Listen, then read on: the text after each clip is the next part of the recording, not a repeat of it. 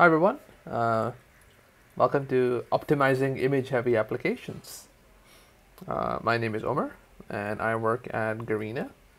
Uh, here is uh, my Twitter handle and uh, it's really nice to be back at iOS Conf. Uh, for those of you who don't know, I've actually attended almost every iOS Conf since 2015 and it's a really wonderful experience and really kudos to the team for organizing, especially to Sub. Uh, you guys work really, really hard at getting so many good speakers. Uh, it's pretty amazing. So uh, before we go into the talk itself, I want to quickly give a brief introduction about me. Um, so I work as an engineering lead uh, for this project called Booyah. Booyah is a uh, live streaming platform.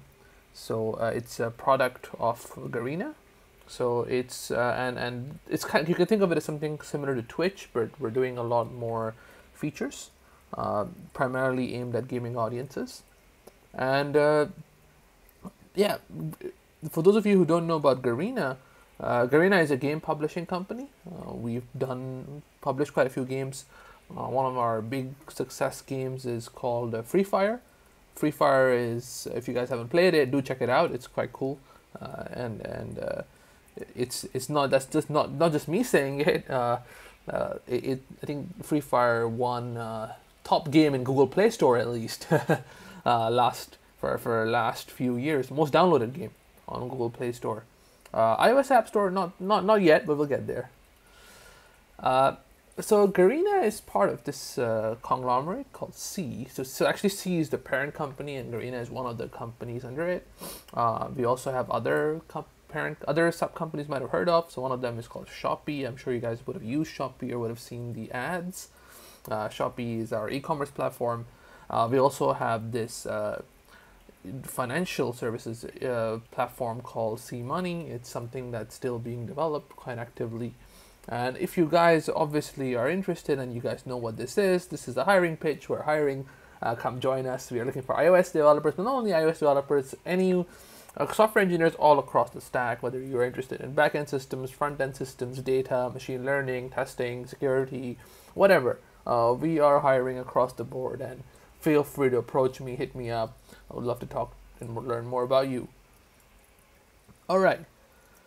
Now I'm gonna go into the talk. So uh, first thing first, uh, let's start with an image, right? So what exactly is an image when you think about an image, right?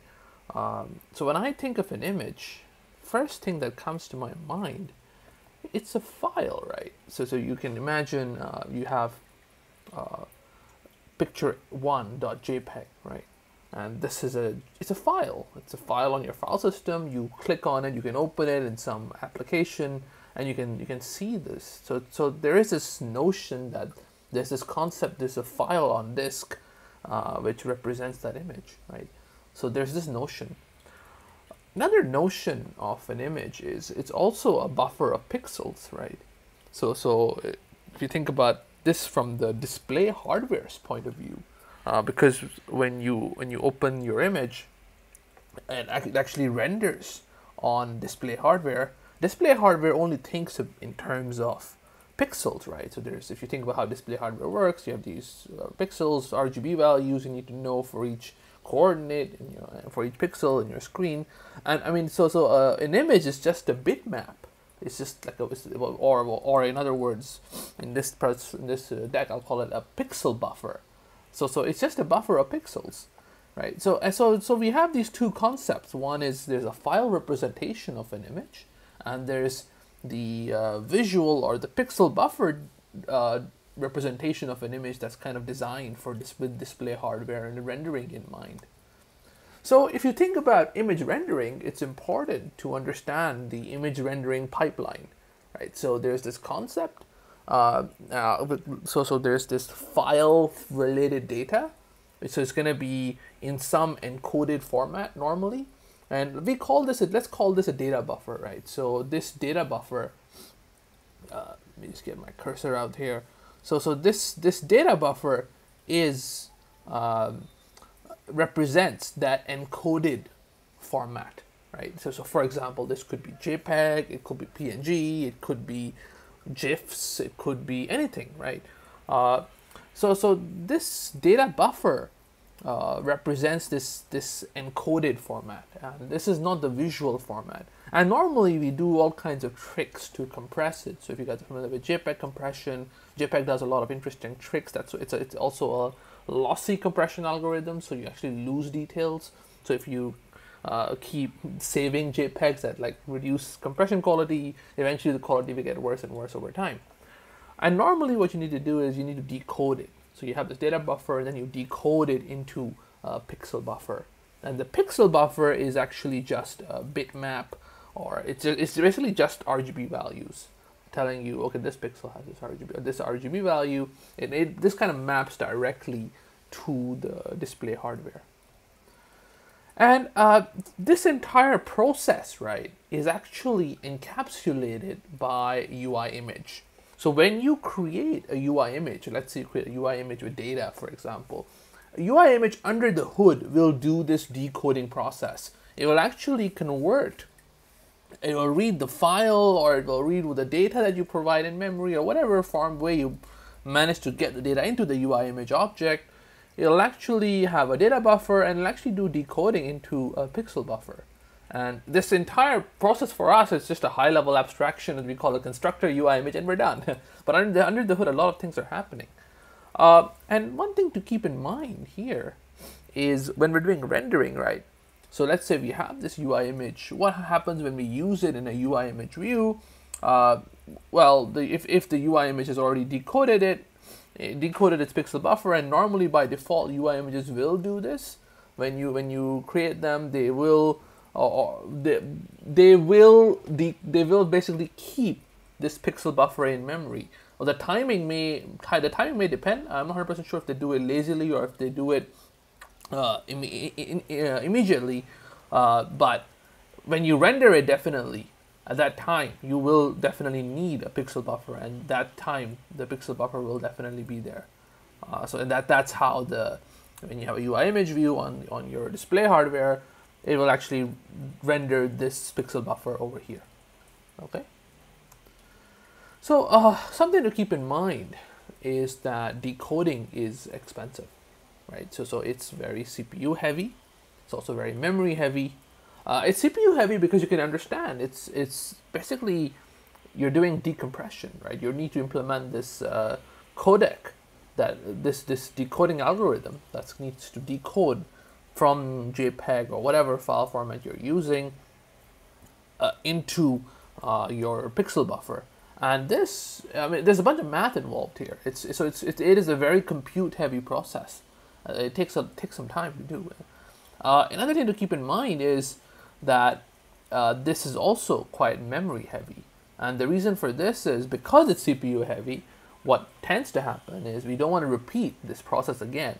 And like any good computer science student, we like caching, right? So we'll cache this decoded output. And the problem, with, and something to keep in mind, like I mentioned just now, UI image will cache the decoded output. The pixel buffer will be cached. And this will cause a persistent large memory allocation. So what that means is once we allocate this memory and we have this UI image out in the wild, uh, even if it's not being rendered, but let's say you, you have someone pointing to it, it, the, the pointer is there, it, it's got a reference count. I mean, that memory buffer, the pixel buffer will remain there. It's not going to go away. And this will add memory pressure to your application. This is usually I feel one of the primary reasons why our applications take a lot of memory, especially if they have a lot of image content. Uh, another thing to keep in mind, and this is quite important, is that pixel buffer sizes are proportional to the actual image size, not the view size. So even if you render a very small view, let's say just 20 by 20 pixels, but you're loading like a thousand like a 1K by 1K image for it, the buffer size will be 1K by 1K as well, which is huge, right? So uh, just need to keep this point in mind. So your memory usage really depends on the source image. So if you're relying on user inputted provided images, for example, just keep this in mind that this is a wild factor. uh, and and this can have a big performance impact on your applications. And I mean, high memory usage isn't desirable for any application. And there are many reasons for this, but some of the main reasons are things like fragmentation. So, so your memory will be all over the place if you have very large amount of buffers. You're going to have a lot of cache misses, which is something that people, people don't appreciate that much. But it's a very fundamental thing that uh, L1, L2, L3 caches are much, much faster than reading from memory. And if your memory is highly fragmented, it's all over the place, uh, you're gonna have more cache misses. This is gonna impact performance. It's gonna you're gonna need more. Uh, gonna, it's gonna be slower to do many many many many things. So your system overall will slow start slowing down. Now there's also this other concept of memory compression. This is an interesting optimization that it happens in iOS, where the system will try to compress your memory if it exceeds if it becomes too large. Um, but the problem with this is this also has a performance cost. So, so it reduces memory usage, but it comes at a CPU cost. So this also kind of it reduces the amount of CPU you have for your workload. And ultimately, obviously, if you keep having higher and higher memory usage, you're going to run into an out of memory exception.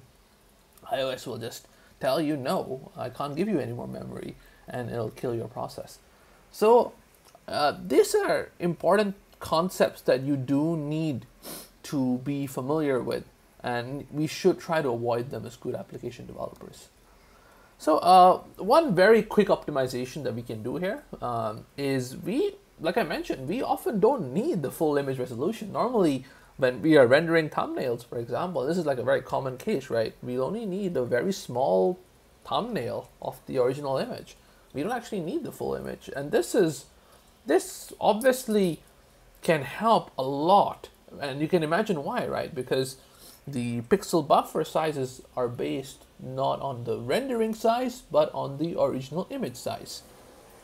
Therefore, let's say you want to do this kind of downsampling yourself in application layer. Let's say your server side doesn't provide any. By right, by right, in a good application, your server side or whatever image storage platform you're using, it should provide some kind of thumbnailing mechanism where when you if you let's say users are uploading full time full image thumb image images uh, you're able to generate thumbnails for them. And if you can do it on server side this is obviously more efficient right? But i mean if you can't for whatever reason and you have to do it on client side that's also okay and ios does support it. And i'm just going to share some very quick snippets on how you can do this in ios. Uh, so so for example if you want to downsample an image so this process of generating a thumbnail from an original image is called downsampling. And this and to do this in iOS, it's quite simple. There's two steps. So first step is you got to use uh, this library from image this library called image.io. It's a more low-level C library, and uh, they provide a bunch of very fancy methods to do a lot of this kind of complicated image.io magic. Uh, in this case, what we're doing is the first thing we want to do is we're going to create what's called an image source and we pass it a bunch of options. The option that's very important for this example is we want to disable uh, caching the decoded image because that's our goal here entirely is to control this, to have fine-grained control so we never load the original decoded form in memory unless we have to. So, so that's why this key CG image source should cache should be false. That's exactly what it's controlling. So the first step is we create this image source with this option. and the second step is we find the max dimension. This could be the width or height multiplied by some scale. This could be your uh, screen's, screen's rendering scale. And uh, then you basically do a downsample. So need, for downsampling, you need to create, provide a bunch of options. So, so for example, enable thumbnails, whether we should cache the thumbnail, create thumbnail with transform, and provide the size, obviously. And once you provide these options, you can call this nice magic method CG image create thumbnail at index. And this nice image IO method will actually do all the magic for you. It'll actually create a nice thumbnail for you. And you can actually, uh, this returns a CG image, so you can actually create a UI image from it. This is, this is not that expensive. So, so yeah, that's the uh, process. And I mean, this is not bad. It can work quite well, uh, and it's just that remember, it's not very cheap because you're doing some downsampling. You have to read the read the image buffer, then you do downsample it. It's not going to be very cheap. Best if you can do it on server side. Uh, the, however, let's say you have a collection view where you're running, where you're rendering a ton of these kind of thumbnails, right? For example, something like the camera roll. Let's say you're working on some kind of, camera roll application. This is like this iOS standard application we're all familiar with. So we have a lot of thumbnails here. And uh, something to remember here is collection view and table view. Uh, these cells render lazily, so they only render what they need to on that's actively being being uh, in that that's actually in the window, and that's how they guarantee excellent performance, right? However, this also means that if you don't do anything, uh, when you scroll to the next page, you have to finish, you have to wait for all the downsampling for all these images to finish. And if you don't want to to impact the user experience, you only have 16 milliseconds to do this. And this is very tight because um, this process, downsampling process, is not that is not that fast. It does require a fair amount of resources. So therefore, uh, you you probably don't if you do it if you do it by just uh, just do it in your main queue and you just do it in a blocking lazy way. Um, it, it will probably won't be a good solution. You need a better solution for this. And uh, some very quick solutions are you can do prefetching. And this is a very nice API they've added. They've had it for some time now. And uh, you can actually prefetch items at, at a particular index path. So this kind of collection can give you some kind of hint that it's coming here, and you can do your uh, decoding earlier. And this this this is really nice because then the the perceived impact is not is not that high. Uh, another thing, obviously, that you should also must also do because you don't want to block your main queue is you should do asynchronous downsampling. And the recommended strategy here is to use a serial queue um, because you don't want to have a thread explosion with a concurrent queue. So the serial queue will do these one by one, uh, and and uh, even though it's going to be, um, it, it, it needs to wait for each downsampling to finish. Uh, overall, it's going to prevent uh, a crazy explosion of, of, of, work where you keep, keep scheduling uh, work that actually doesn't, doesn't never finishes. So this is like the recommended approach for when using GCD. So so yeah, you, so you can do something like this, and this this can help your main queue performance and will asynchronously update your thumbnail afterwards. Uh, some other additional notes to keep in mind is firstly, uh, try to use UI image view when doing custom, instead of doing custom drawing. So, so, and this is because, as you can imagine, UI Image View has a ton of internal optimizations specifically for images. Uh, the people in people in Apple have worked pretty hard to optimize this a lot. So don't undo their optimization by not using it. So if you really have to do some custom drawing, let's say you have an image and you need to draw something on top of it, uh, try to use as many higher level abstractions as possible. Try to use views. Um, the problem you run into if you do a lot of custom drawing is you need to deal with this thing called a called the backing store, and backing stores aren't that optimal. Uh, so so so, so uh, try to use the highest level abstraction available. Generally, that's the advice for any iOS framework, right? So so so don't dig into the low level unless you really really have to, um, and there's no there's no choice. All right. Yeah, I think that that's pretty much it for this talk. Um, hope you guys like it. Feel free to ask me any questions, and thank you.